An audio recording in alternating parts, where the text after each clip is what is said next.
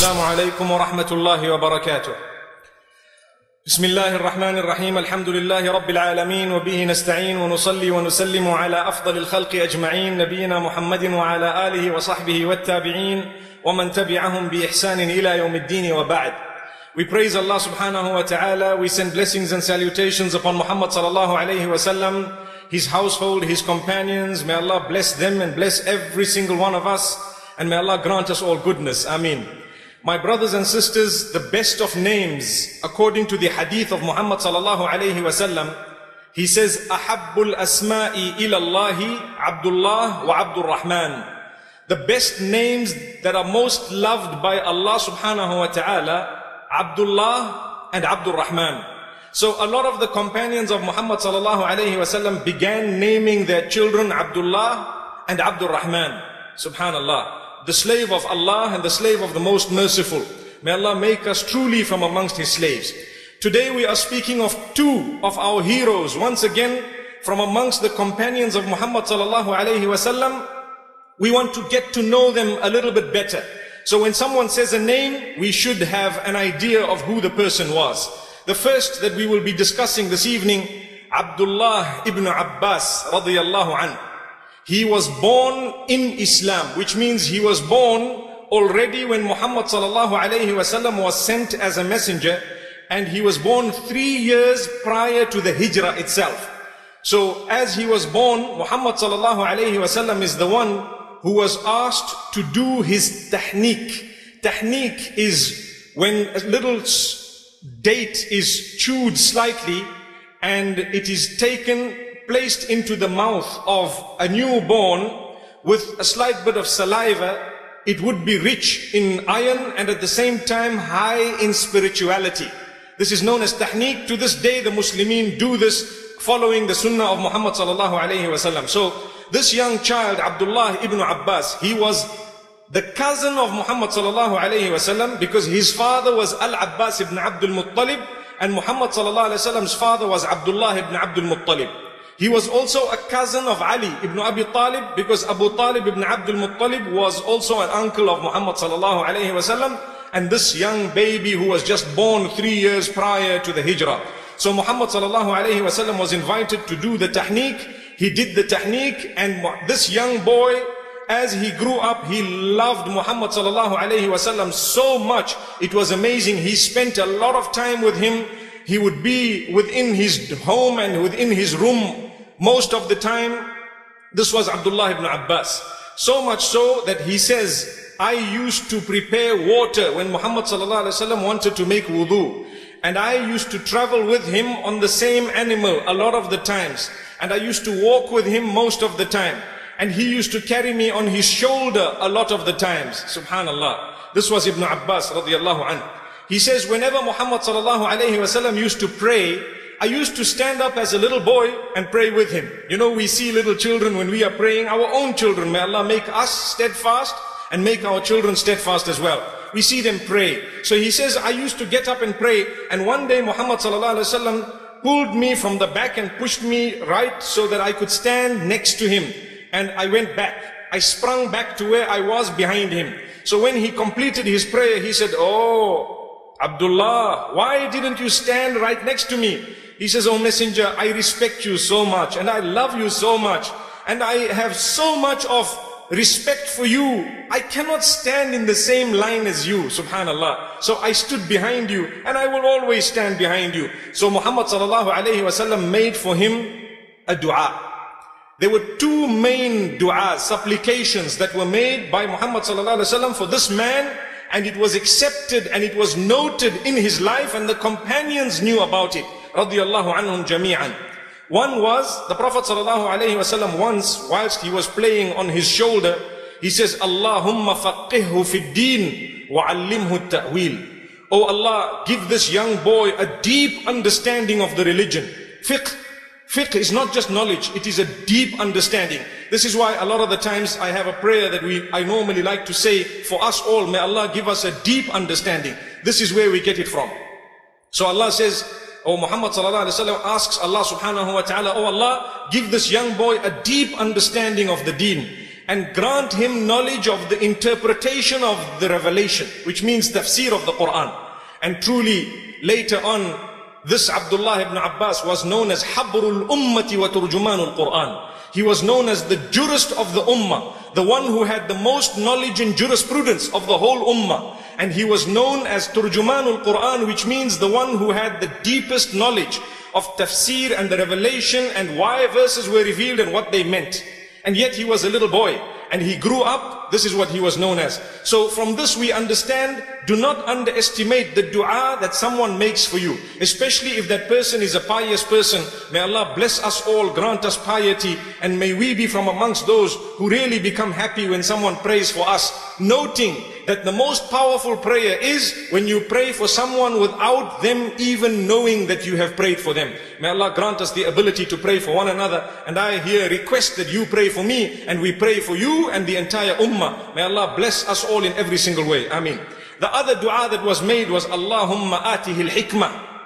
This was the day when he was taken from the back and put to stand next to Muhammad sallallahu alaihi wasallam and he went back that day Muhammad says, Oh Allah, grant this child wisdom.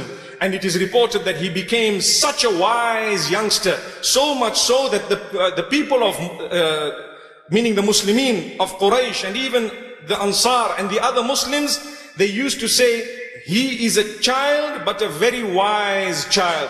He's like an old man. You know, sometimes you have a little child, but their movements are like old people, and we get excited. This, in the real case, he was a, a youngster, who grew up and subhanallah, not only wisdom, but he was very, very mature from a young age, subhanallah. He used to listen very carefully to all the discussions of Muhammad sallallahu alayhi wasallam and he used to listen to the companions of Muhammad sallallahu alayhi wasallam very, very carefully. So much so that he was asked one day, how did you get your knowledge? He says, I used to ask a lot of questions. Subhanallah. You know, our children, they ask questions. Sometimes we say, keep quiet. You're not supposed to ask. No, that's the wrong answer. Give them the answer. If you don't know, find it for them. If you don't know, take them to someone who will answer their questions. It will increase their knowledge. May Allah help us all. So he was a man or he was from his young days, he used to ask a lot of questions, but he had a certain beauty about him. Something amazing is he used to listen also very carefully, very attentively. It is reported that Abdullah ibn Abbas radiallahu anhu, when he spoke, everyone listened to him. And when people spoke, he listened to them very carefully. Amazing. With us, a lot of the times we're on WhatsApp, I think, or we're on BBM. Even when your own father or mother is speaking to you, we're still busy, you know, sending people messages until your mom sends you a message on the same application. And then you say, oh, sorry about that. I hope we apologize as well. Nowadays we are becoming more and more rude. May Allah grant myself goodness and all of us. I think we get overtaken. This Sahabi, Al-Jalil, great honored Sahabi, when people used to talk to him, he left everything and listened very attentively. He gave them importance and he was loved. Subhanallah. Now, if we take a look at how desperately he sought knowledge, if he heard that there was a hadith after the death of Muhammad sallallahu alaihi wasallam, remember he was only 13 years old when Muhammad sallallahu alaihi wasallam passed away. If he heard that there was a hadith that one of the companions had that he had not yet heard, he would go to their door in the afternoon. And he, if had he knocked, they would have opened the door because he was the cousin of Muhammad sallallahu alaihi wasallam. But he used to take a piece of his clothing and lay it at the door, and he used to lie down in the heat, and he used to go to rest there or lie down there and wait for a while. Until the companion came out for salah. As they opened the door, they would see Abdullah ibn Abbas. What are you doing here? He would say, no, I've just come to seek a bit of knowledge. Well, why didn't you knock the door? Well, I wanted you to rest and I knew that when you came out, I would be able to speak to you. No, you are the cousin of Muhammad sallallahu alaihi wasallam, the family of the Prophet sallallahu alaihi wasallam. Had you called me, I would have come to you. Why did you even have to come here? He says, no, I was taught to respect those whom you want to seek knowledge from. Without respecting them, you will never be able to seek knowledge. So much so that Zayd ibn Thabit radiallahu anhu cried one day. He says, this young man, Abdullah ibn Abbas, he waited for me at my door. As I came out, he rushed towards my conveyance, the animal, and he grabbed the animal and helped me onto my animal and he held the reins of my animal and he's walking. And I said, Oh Ibn Abbas, why are you doing this? He says, you are a teacher, you've taught me something. He says, you are a family member of Muhammad sallallahu alaihi wasallam, you are embarrassing me. He says, no, this is how I've been taught to look up to my teachers and to respect them. I am helping you because I respect you for the knowledge I've learned from you. And thereafter, Zayd ibn Thabit says, I asked him, oh Ibn Abbas, show me your hand. So he showed him the hand. So Zayd ibn Thabit got hold of it and kissed his hand. So Ibn Abbas says, why did you do that? He says, because you are a family member of Muhammad sallallahu alayhi wasallam. Subhanallah. May Allah grant us a bit of respect from those we learn from. A lot of the times we have teachers who've taught us goodness, we harm them later on in life. And this has happened a lot. It is a test of Allah subhanahu wa ta'ala. Those who teach us alif and ba, when we become 50, 60 years old, we think of how to harm them and how to hurt them in the biggest and best way. A'udhu billah. This should not be the case. We should respect them to the last moment. So this was the man. It is reported that at the time of Ali ibn Abi Talib radiallahu anhu, Abdullah ibn Abbas was so intelligent, so intelligent, so full of knowledge. He told Ali ibn Abi Talib, you see these people who have come out of your obedience, let me go and speak to them. So Ali ibn Abi Talib radiallahu anhu says, what do you want to tell them? What will you tell them? They won't listen to you. He says, no, allow me to go. So then he was allowed to go. He went to see this large group of people who had some bad things to say about Ali ibn Abi Talib radiallahu anhu. So he asked them a few questions, but first they did not want to talk to him because he was young still. And then he said, no, I would like to say a few words to you. So some of them said, okay, this man is a cousin of Muhammad sallallahu alaihi wasallam. Listen to him. He asked them two or three questions about why they were doing what they were doing. And each thing he responded with a verse of the Quran and explained to them. Or a saying of Muhammad sallallahu alayhi wasallam and explained to them. In a few moments, he had turned the bulk of them back to Ali ibn Abi Talib radiallahu anhu. In a few moments. This was the intelligence of the man, the wisdom of this young man. Masruq ibn al-Ajda' was a tabi'i. Tabi'i meaning he was not a companion, but he had met the companions of Muhammad sallallahu alayhi wasallam. Rahmatullahi alayh. Masruq ibn al-Ajda' says, Abdullah ibn Abbas was the most handsome of those I saw. So when I used to see him, I used to say, this man is the most handsome. When he opened his mouth, I used to say, Subhanallah, this man is the most eloquent. And when he used to start speaking, I used to say, Alhamdulillah, this man is the most knowledgeable. So he had three things. He had eloquence in language, he had deep knowledge, and he was very handsome in his looks. This was Abdullah ibn Abbas radiallahu anhu, the youngster who grew up with Muhammad sallallahu alayhi wasallam or under the guardianship of Muhammad sallallahu alayhi wasallam. He was a man every single day. He used to have gatherings at his house. So much so that nowadays we describe it as the first university because he used to teach subjects. He was a master in tafsir. He was a master in jurisprudence, which is known as fiqh. He was a master in history. He was a master in the Arabic language and in what was halal and haram and so many other things. So he used to specialize every single day for a different topic. And the people used to gather at his house and he always allowed them in and he always prepared some form of food or drink or fruit for those who came in. And it, he considered it an honor. So those who were his students, they were invited to his house. Students meaning they wanted to seek knowledge from him. And on top of them, he used to give them food or drink. Imagine, with us, even if we get a visitor in our house, may Allah grant us ease. I don't want to say what goes through the minds and the hearts of the people of today. You know, I once visited a house with my mom when we were young and the door had a sticker on it saying, we are very happy upon your arrival, but we will be even happier when you depart. Imagine, that's today's times. May Allah grant us ease. I'll never forget this. May Allah forgive us all. I just hope it was a joke and it was not serious. When I told my mother what had happened, she said, I never want to go back to that house. It's, it's something true. Anyway, to get back to Abdullah ibn Abbas, he was an ustad and at the same time he used to honor those who learned from him as well. Not only his teachers, but even those who learned from him. Because he used to say, it is Allah who sent them to learn from me. This is a sign that Allah subhanahu wa ta'ala is using me to spread this knowledge. But he was a very, very humble person. So, he, it is reported that on one occasion the people came to his house. So much so that his own friends used to say, we've never seen the streets so full as we have close to the house of Ibn Abbas radiallahu the gullies and alleys. So full there is no place to walk. So one of his friends went into his house after having found his way in and he says, Oh Ibn Abbas, you are resting but the people are all outside. So many people, the largest gathering we've ever seen.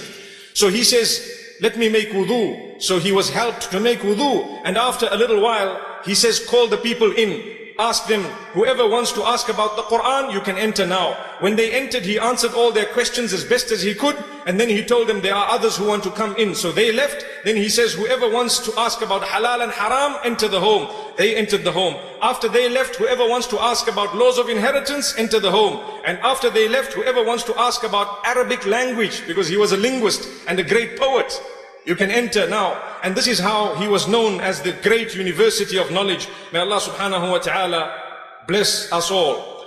Umar ibn al-Khattab, as great as he was, and the other khulafa, they used to call this young man in, in order to seek his opinion in so many of the major issues and incidents.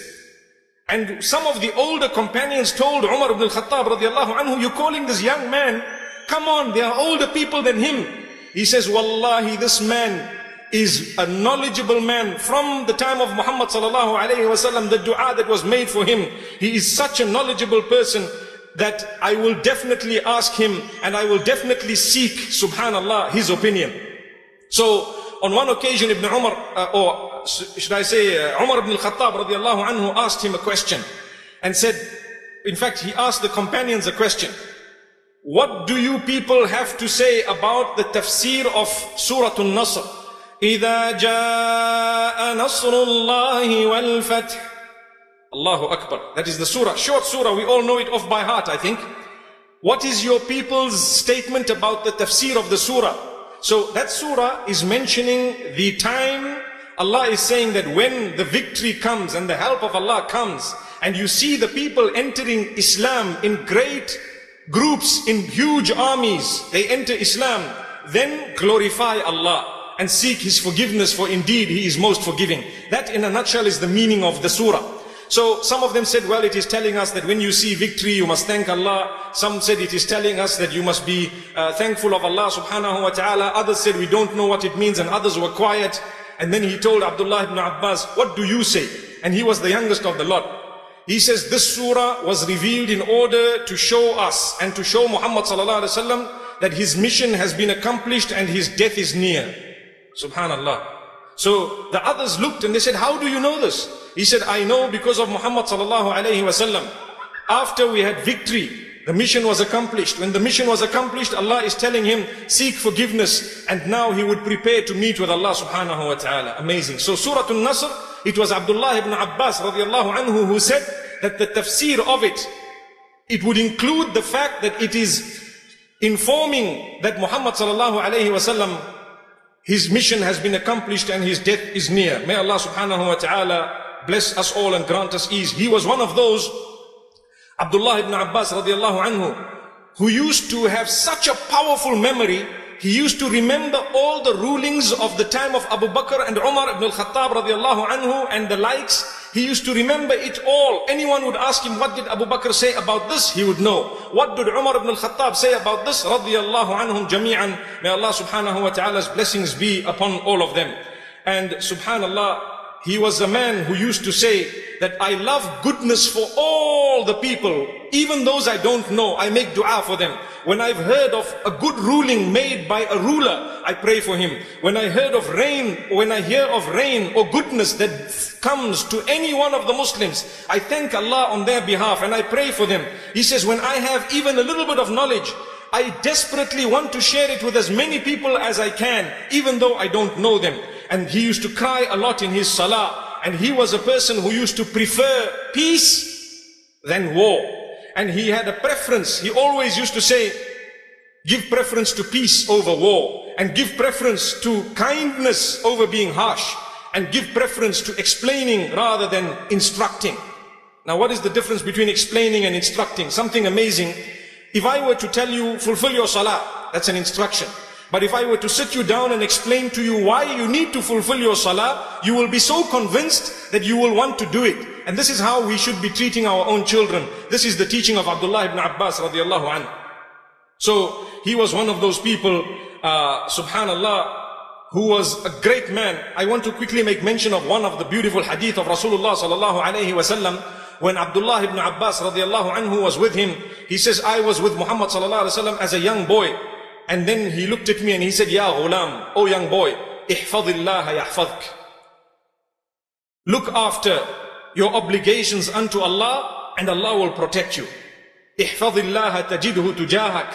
Look after your obligations unto Allah and you will find Him with you, coming to your assistance. You will find Him right ahead of you. Subhanallah. And he continued to say, إِذَا سَأَلْتَ فَاسْأَلِ اللَّهِ وَإِذَا اسْتَعَنْتَ فَاسْتَعِنْ بِاللَّهِ when you ask, only ask Allah. When you seek help, only seek the help of Allah. And you should know that if the whole nation gathers together to harm you, they will never be able to harm you unless Allah has written it against you. And if the whole nation gathers to give you some goodness or to benefit you, they will never be able to benefit you unless Allah has written it for you. May Allah subhanahu wa ta'ala grant us from that. He passed away when he was 71 years old in the year approximately seven, uh, 68 Hijri and he died in the city of Ta'if. He was from amongst those whom Muawiyah ibn Abi Sufyan was the Khalifa and he had come in for, for Umrah with a large group of people. This was the Khalifa of the Muslims, Muawiyah ibn Abi Sufyan radiallahu an. When he walked in and he came into Mecca, he had a large group of people with him. And he noticed an even larger group of people. And when he asked about them, they said, those are the students who are now with Abdullah ibn Abbas radiallahu anhu. So he had even a larger following, subhanallah, during that particular Hajj. Our next hero is the son of Umar ibn al-Khattab, radiallahu anhu. His name was Abdullah as well, Abdullah ibn Umar ibn al-Khattab. He was born one year before prophethood. So he was born just prior to Islam. When his father accepted Islam, he was one year old. So he too was a youngster. He grew up as a Muslim and subhanallah, he was the closest in looks to his father, Umar ibn al-Khattab. People used to miss his father, come to him and just look at him, subhanallah. Because he was the closest in looks to his own father, Umar ibn al-Khattab. He too used to follow Muhammad sallallahu alayhi wasallam. He made hijrah to Medina Munawwara with his father. The day his father announced, I am making hijrah. Anyone wants to follow me? See me on the other side. This little child of his was with him and he made hijrah with his father. The battle of Badr came in and Abdullah ibn Umar radiallahu anhu was only approximately 12, 12 and a half years old. So Muhammad sallallahu alayhi wasallam sent him back. He was too young. He cried. He really wanted to take part in the battle. Then the following year, Uhud, he was still 13 plus years old. Muhammad sallallahu alayhi wasallam sent him back. He cried again. In fact, he was standing like he was tiptoeing, trying to look big. And he made his shoulders look broad and he had a sword that he came with. But Muhammad sent him back, told him no. And when the battle of Khandaq took place, he was approximately 15 years old and then Muhammad allowed him and subhanallah thereafter he took part in whatever Muhammad uh, took part in as well and he was an amazing young man subhanallah Abdullah ibn Umar ibn al-Khattabi radiyallahu anhu did not lean towards the dunya towards the world whenever he earned something he gave it away whenever he ate he always made sure that the poor shared the same food that he ate every time he ate. If they didn't, he would not want to eat. And we will give you some examples of that in a few moments. He was a man who was constantly found in the masjid. It is reported that if you went to the masjid, you would always find Abdullah ibn Umar there. Radiyallahu anhuma. May Allah bless them both, him and his father. One day he saw a dream. And in his dream, he saw that two angels were taking him towards the fire. And so he started saying, A'udhu billahi minan nar. May Allah protect me from the fire. May Allah protect me from the fire. So another angel comes in and says, Oh Abdullah, you don't need to worry. You don't need to worry. Nothing is going to harm you. Anyway, he got up from his sleep quite worried.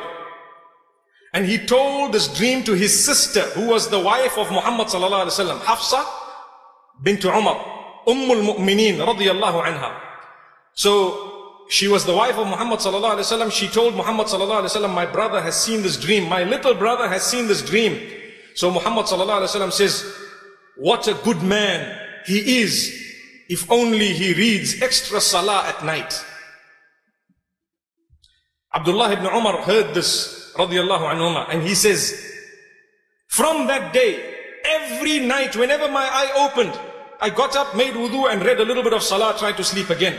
And his friends and his family say that every night, three, four, five times a night, he would suddenly get up, make wudu and read some salah because he wanted, he was worried about this dream that he had. And Muhammad told him, you will have paradise by the will of Allah subhanahu wa ta'ala. Obviously he was not from amongst those who was directly informed that paradise is from him. But this narration or this dream was good news for him that by the will of Allah subhanahu wa ta'ala he will have goodness but he would need to continue praying at night so that is exactly what he did and some amazing story stories of this beautiful companion Abdullah ibn Umar radiallahu anhuma it is reported that Uthman ibn Affan radiallahu anhu during his time tried to appoint him as a qadi qadi meaning a judge so he refused because he did not want to be a leader in this world at all. He was so careful of the hadith. He narrated so many hadith of Muhammad sallallahu alaihi wasallam that he was so careful of the wording. He was one of those whom if he was not sure of the wording, he would not narrate it. Although the hadith, you're allowed to narrate it with a slightly different wording. If you are not 100% sure, for as long as the meaning is not changed. But the Quran, you cannot do that. But he used to do the same as the Quran with the hadith of Muhammad sallallahu alayhi wasallam. So he told Uthman ibn Affan, I don't want to be a judge here. So Uthman ibn Affan told him, you know what, you should be the judge and we would like you to be the judge. Your father was appointed the judge in the presence of Muhammad sallallahu alayhi wasallam. So do you know what the young man says? Radiallahu anhu. He says, my father was appointed as a judge in front of Muhammad sallallahu alayhi wasallam he judged with what he knew. When he didn't know, he would ask Muhammad sallallahu alaihi wasallam. And Muhammad sallallahu alaihi wasallam, if he didn't give the answer straight away, he would ask Jibreel and he would get revelation. And I don't have that anymore. So I don't want to be a judge. Subhanallah. What a man. So Uthman ibn Affan radiallahu anhu thereafter excused him because he said, look, oh Uthman, if someone seeks the refuge, if someone seeks refuge in Allah, surely wouldn't they be granted refuge? Uthman says, yes, they would. He says, well, I seek refuge in Allah from being appointed as a qadi or as an imam. I don't want to be appointed as either one of them. So he was not. Uthman ibn Affan radiallahu anhu uh, acknowledged that and he gave it to him. He said, okay, that is fine. Then when it came to the confusion between Ali ibn Abi Talib and Muawiyah radiallahu anhuma, may Allah's peace and blessings be upon all of them. Some of the companions said, Oh Abdullah ibn Umar, we want you to be the Khalif. And he said, I will never ever be the Khalif. How can I be the Khalif? I am just an ordinary Muslim. So they told him, no, you should be a Khalif. Your father was a strong man. So he looked at them and he said, okay, if you appoint me as a Khalif and you pledge allegiance with, to me as a Khalif, what will happen to the people of the, the East who would not want me as a Khalif?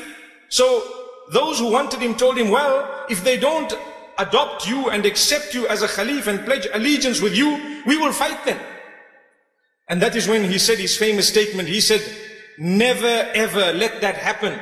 I would definitely prefer never to let Muslims fight because of me and because of Khilafah. May Allah subhanahu wa ta'ala safeguard us and may He grant us ease. This Abdullah ibn Umar radiallahu anhuma, he turned that down very strongly and he warned the people about fighting because of khilafah. May Allah subhanahu wa ta'ala safeguard us and grant us all ease and goodness and may He grant us peace and stability across the globe. My brothers and sisters, this was the man whom he used to follow the footsteps of Muhammad sallallahu alayhi wasallam to the T. Do you want to hear what he used to do?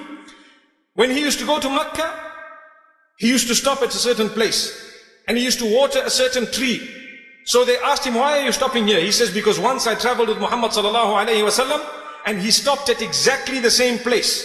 And this is where he stopped, so I will stop here.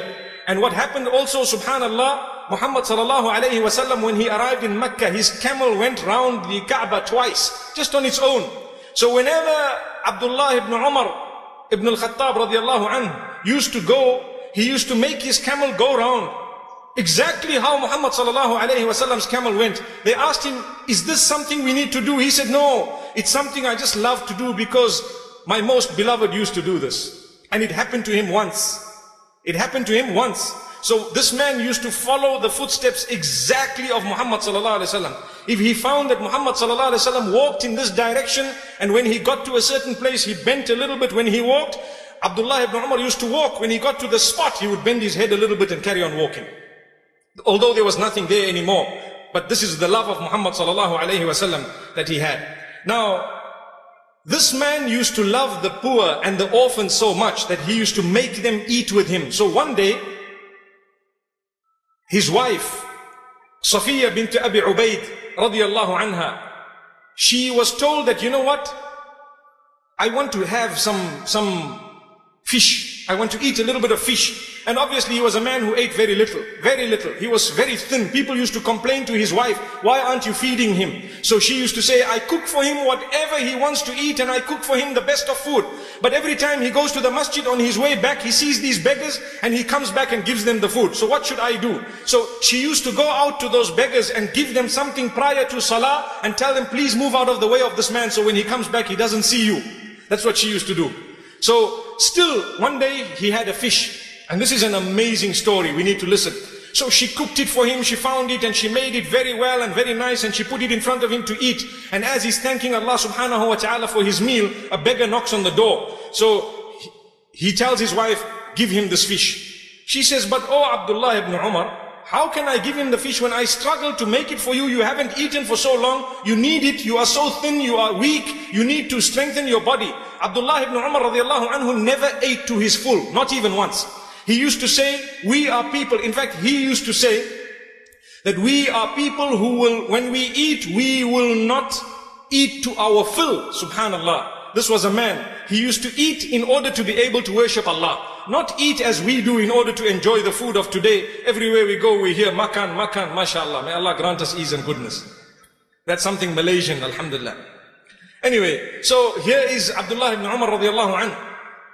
He says, give the beggar. So she went to the beggar and she said, you know what? Uh, I have this fish, I've been told to give it to you, but my husband, he, he would like to eat it, meaning he wanted it. So the beggar says, well, you know what? I want it too. Subhanallah. So she says, okay, I tell you what, I'll give it to you, but I'll buy it back from you. So she gave it to him and then she took a dinar and she gave him the dinar and he said, okay, that's excellent. I, will take the deal. And she, he gave back the, the, the food. So by that time, Abdullah ibn Umar came to the door and she looked at him and said, you know what? I gave him the food and I bought it back from him and he's so happy. So he looked at the beggar and he says, are you happy with what happened? So the beggar says, yes, I got the dinar. Then he looks at his wife. He says, now you give him the food because now it's a charity. Subhanallah. And he made sure that that fish was given away. Allahu Akbar. Even though he wanted it so much. May Allah subhanahu wa ta'ala grant us ease and goodness and make us people who don't live to eat, but rather we eat to live. So this was the man. It is important for me to mention a few more stories of this man. Abdullah ibn Dinar radiallahu anhu says that one day we went out with Abdullah ibn Umar for Umrah radiallahu anhumah. And on the, on the road we saw a shepherd. And the shepherd had quite a lot of sheep with him. And Abdullah ibn Umar, he was such a kind man and he loved pious people and good people, honest, upright people. So he looked at the shepherd and he says, Oh shepherd, give us one of your sheep and just tell your boss that you know what? Uh, a wolf came and ate it. So the shepherd looked at him and says, Abdullah ibn Umar, he says, what answer will I give Allah subhanahu wa ta'ala? My boss, I can tell him anything. What about Allah? I can't cheat him. So Abdullah ibn Umar was so touched by this that later on he bought the slave and he bought all those sheep and he freed the slave and gave him all the sheep which he owned. Subhanallah. This story has repeated itself recently. If you'd like to Google the story of a Sudanese shepherd just Google it, you will find it inshallah. In fact, on YouTube, you will find the story. Something very similar to this story that happened at the time of Abdullah ibn Umar repeated itself last year in Saudi Arabia. May Allah subhanahu wa ta'ala grant us all goodness and ease and make us honest. Consciousness of Allah at the time when no one is watching besides Allah subhanahu wa ta'ala. Another quick story of this man. Once he was given 20,000 coins and he distributed them straight away. Like I told you, he didn't want to keep them. So when he finished distributing them, some people came and said, do you still have anything you're giving? He said, no, I don't, but hang on. He went to those whom he gave and said, can I get some credit from you? Can I please, can you lend me some of what I gave you? So he got it back from them as a debt and he gave those who were asking and later on he paid that debt. Imagine. Subhanallah. This was the man and this is how great he was. He was a person who used to say, the hadith of Muhammad sallallahu alaihi wasallam, "Kun fi dunya ka'annaka gharibun aw abiru sabil." Live in this world as though you are a passerby, as though you are a stranger or a passerby. And he used to always say, Oh my beloved brothers, when you have seen the morning, don't think that you're going to be living at night. And when you have seen the night, do not think you're going to be alive to see the morning. Don't wait. Prepare with Allah subhanahu wa ta'ala. Yet, he lived for almost 85 years, a little bit more than 85 years. And when he was 85 years old or a little bit more, in the year 73 Hijri, he passed away in Makkah al-Mukarramah and he was buried there. These were our two heroes that we spoke about today. The idea is just getting to know them slightly. One was Abdullah ibn Abbas radiallahu anhuma. The other was Abdullah ibn Umar radiallahu anhuma. Why we say anhuma is because we are asking Allah's blessings for both them and their fathers as they were both companions of Muhammad sallallahu alayhi wasallam. May Allah grant us the companionship of Muhammad sallallahu alayhi wasallam in the akhirah. Ameen. Wa sallallahu wa وبارك على نبينا محمد. سبحان الله وبحمده. سبحانك اللهم وبحمدك نشهد أن لا إله إلا أنت. نستغفرك ونتوب إليك.